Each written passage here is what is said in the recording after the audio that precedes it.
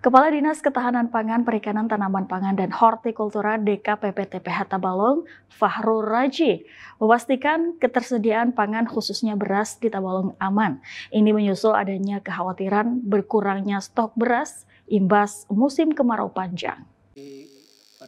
Hal ini disampaikan Kepala Dinas Ketahanan Pangan, Perikanan Tanaman Pangan, dan Hortikultura DKPP TPH Tabalong, Fahrul Raji, saat ditemui usai pelaksanaan syukuran panen padi IP 200 varietas Mekongga pada Rabu 4 Oktober 2023 di Desa Lokbatu, Kecamatan Harwai.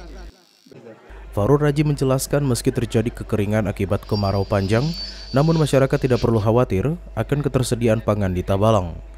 Pasalnya produktivitas padi di Kabupaten Tabalong sejak Januari sampai dengan September 2023 telah mencapai 36.000 ton gabah kering giling Angka ini menurutnya telah melebihi kebutuhan pangan di Tabalong yang berada di angka 29.000 ton per tahun.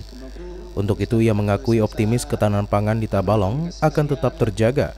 Terlebih pada bulan Oktober, pihaknya turut menargetkan gerakan tanam padi di lahan seluas 2.425 hektar. Kalau kita banding dengan kebutuhan penduduk Kabupaten Tabalong sekitar 29.000 ton, jadi kita masih surplus.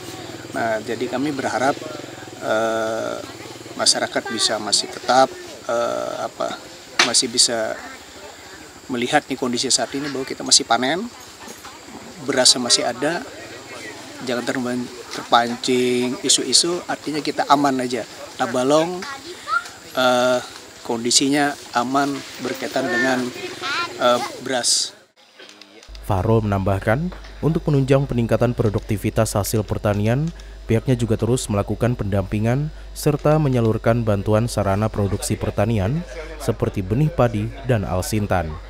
Ghazali Rahman, TV Tabalong melaporkan. Terima kasih sudah menonton video ini. Jangan lupa subscribe channel Tabalong hari ini dan nyalakan pemberitahuan untuk update info. Jangan lupa juga untuk like, komen, dan share videonya.